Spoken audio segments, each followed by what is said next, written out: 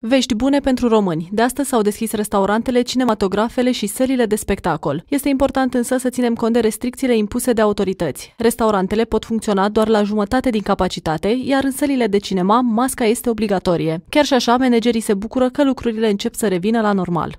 În primul rând este o bucurie enormă, o simțim ca pe o bucurie în ceea ce privește hai să spunem, uh, modalitatea de a ne întoarce. Bineînțeles, sunt pași, sunt pași uh, mărunți. Repet, bine că sunt. Este o bucurie faptul că, că sunt. Și vom vedea pe parcurs ce înseamnă, ce înseamnă asta? Așteptăm și noi uh, normativele, așteptăm regulile cărora, noile reguli cărora va trebui să ne, să ne conformăm.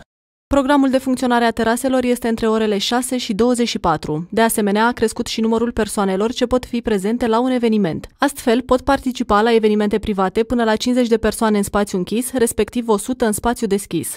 Locuiesc la Londra și la Londra sunt deschise. Ok, deci acolo interdicțiile să înțeleg că nu sunt atât de stricte ca nu aici. sunt atât de stricte ca aici. Mi se pare că o idee bună din punctul meu de vedere pentru că trebuie să meargă economia și trebuie să aibă oamenii de lucru. Dacă nu se deschid, oamenii nu au ce mânca. Și dacă se păstrează distanța și restricțiile și regulile care se impun, atunci mi se pare ok. Chiar lucrez în Horeca, da, sunt și o bucătară în domeniu și am fost afectați, e clar, și am suferit toți, aproape 5 luni. Sperăm că va fi de bine. Oricum, uh, impactul este de long time, pentru că nu intră clientul. Încă terasele văd că merg. Acum sperăm. Eu lucrez de ani buni în Germania. Odată cu pandemia lucrez la un restaurant de 80 de locuri și gândiți-vă la 80 de locuri să-l, să-l diminueze exact 40 de locuri. Deci o masă da, o masă nu. Și acolo tot așa cu mască. Deci am preluat exact ce este dincolo, dar puțin cam târziu.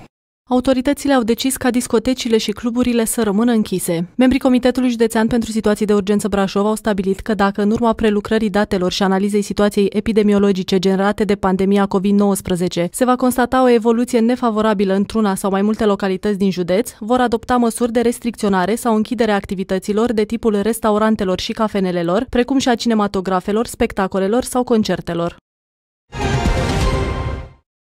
Ziua de 1 septembrie are o conotație specială, întrucât la această dată, în anul 1893, a fost înființată Jandarmeria Rurală. Astăzi, în curtea Jandarmeriei Brașov, s-a desfășurat un ceremonial militar și religios, în memoria eroilor jandarmi căzuți la datorie în primul și al doilea război mondial.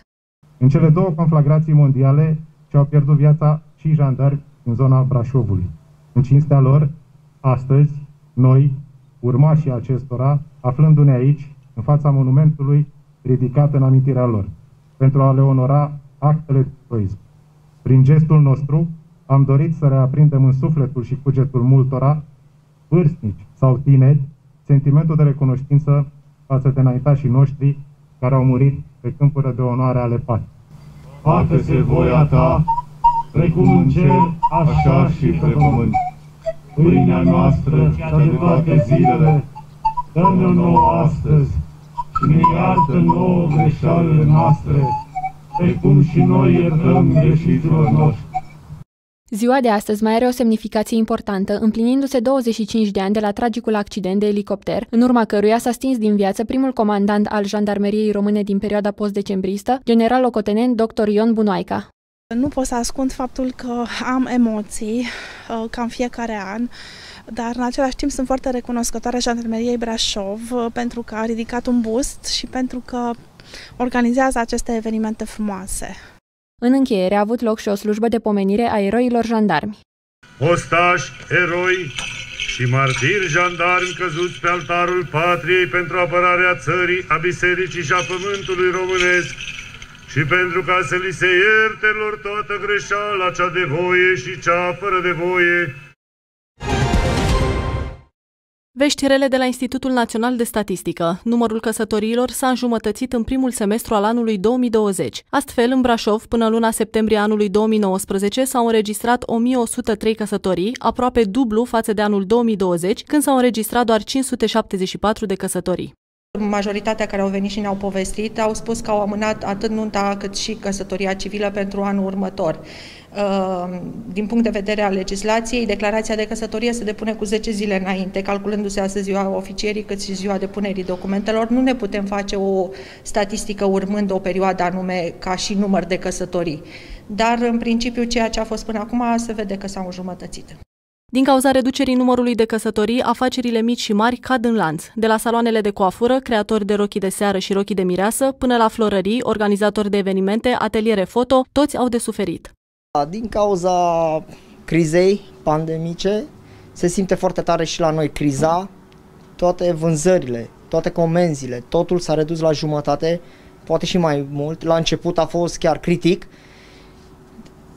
aveam comenzi de nuntă, vânzări online, totul, totul din cauza crizei s-a dus la jumătate. Din păcate ne-a afectat foarte mult, deoarece nu se mai fac nunți, botezuri. Și atunci, pe o parte e și bine, oarecum, că avem și noi mai mult timp liber, ne mai trezim la 5. Dar uh, e destul de rău. Așteptăm anul viitor, poate să fie mai bine.